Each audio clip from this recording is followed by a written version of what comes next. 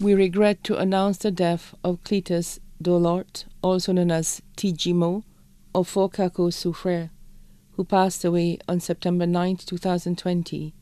He was one of the original dancers of the magnificent Thornbirds.